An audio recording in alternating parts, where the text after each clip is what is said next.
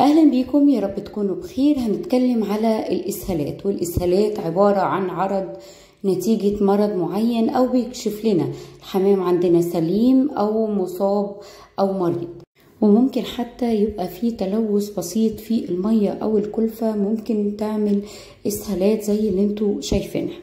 أو ممكن نتيجة إن الحمام جاله تيار هواء وهو اللي سبب في الإسهالات أو تغيير الفصول أو الجو نفسه يوم برد ويوم حر ممكن يسبب إسهالات.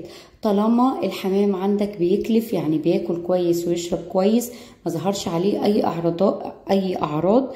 فعشان تبقى مربي ناجح لازم تتابع باستمرار السبل أو الزرق بتاع الحمام. وطبعا في إسهالات خطيرة لازم إن إحنا نحجز أو نعزل فيها فرد الحمام عن باقي الحمام التاني زي مثلا لو اللون الأخضر اللي قالب للزيت أو الزبل اللي تلات أرباعه مية وبتلاقيه متقطع كده يعني الزبل نفسه مش متماسك.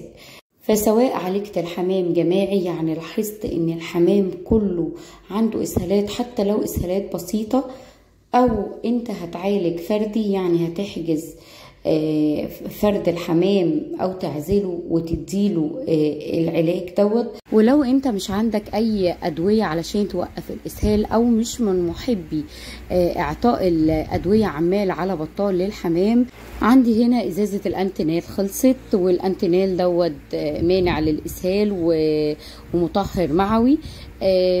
فهستخدم النشا والنشا مفعوله رائع وسحر. وهوري لكم دلوقتي الفرق بين قبل ما ياخد الحمام النشا وبعد ما خد النشا. أهم حاجة إحنا بندي مرة واحدة بس لو حسينا إن الإسهال خلاص وقف مش بنكرر تاني عشان ما يعمل لناش يعني إمساك شديد للحمام فإحنا بنعمل مرة واحدة بس.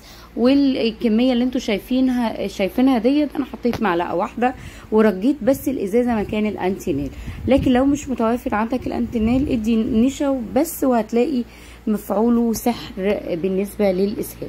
هنا أنا دوبته وابتديت يعني أقلب المية بإيدي أهم حاجة بقى في الموضوع إحنا عايزين الحمام يشرب أكبر قدر من السائل دوت أو المية بالنشا هنعطش الحمام. يعني آه لو إحنا مثلا متعودين إن إحنا بنفطر الحمام 6 الصبح أو 7 أو 9 لأ هنأجل كده للظهريه ل 12 مثلا يبقى كده هو على الأقل قعد 12 ساعة آه الحمام عطشان. علشان زي ما قلنا يشرب أكبر قدر من المية بالنشا. كمان من ضمن الحاجات الطبيعية اللي مفيدة للحمام وبتعمل وقاية من الأمراض ومطهر معوي هي منقوع الكزبرة. جميل جدا. لو عندك بوادر برضو بوادر إسهالات بسيطة ممكن تمنعها زي النشا كده بالظبط. وزي ما قلنا قبل كده كل ما بتهتم بتغيير المية باستمرار أو النظافة عموما بنسبة 95% حمامك مش هيتصاب بالإسهالات. هنا بقى الخل أنا اديته فوتت يوم بعد النشا يعني عملت نشا وبعدين فوتت يوم وبعدين المية في السقايات حطيت فيها خل. الخل رائع خاصة الخل التفاح لو متوافر تمام لو مفيش حطوا الخل العادي. الخل بيقضي لو في أي جراثيم في معدة الحمام بيقضي عليها ويعتبر مضاد للسموم. بصوا هوريكم شكل الزبل بعد استخدام النشا مباشرة بعديها بيوم. بصوا هنا نفس الحمامة الزبل متماسك مفيهوش أي إسهالات زي ما وريته لكم.